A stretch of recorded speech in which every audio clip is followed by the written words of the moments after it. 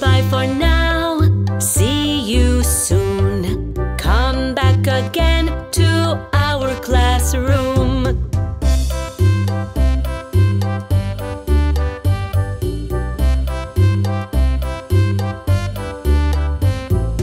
Bye bye for